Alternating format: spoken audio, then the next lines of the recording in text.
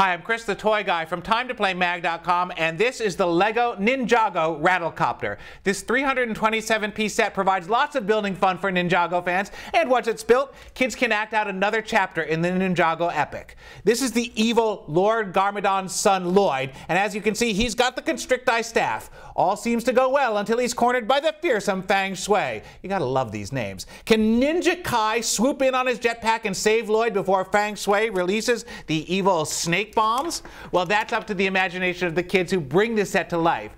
The set includes three minifigs, including the evil Fang-Suei, and four flick missiles so kids can actually bring all the battle action to life. This is a great addition to a Kids Ninjago collection that offers lots of building fun and tons of open-ended narrative play. For more great LEGO and Ninjago toys and the best toy reviews online, visit us anytime at timetoplaymag.com.